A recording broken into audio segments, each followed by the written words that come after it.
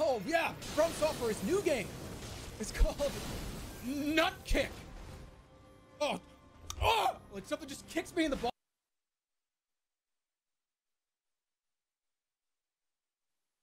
You probably okay. If you rewind exactly one hour, I'm probably purple, and screaming and talking about getting like kicked in the balls.